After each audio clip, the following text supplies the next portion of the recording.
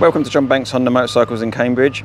Here we have, that's just come in as part exchange, 2016 Suzuki Address, little 110cc scooter, very popular, uh, obviously the equivalent of the Honda Vision.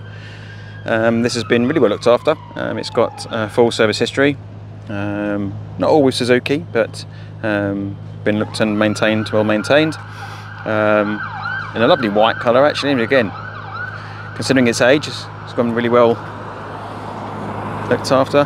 Very, very limited marks, metal wounds. It's covered just over eight and a half thousand miles. I'll just show you the, the mileage. Yeah, 8654. Nice little dash, very simple, very clean, very inexpensive mode of transport, especially around the city and that. If you want for more information, don't hesitate to give us a call at John Banks Honda. My name's Eddie.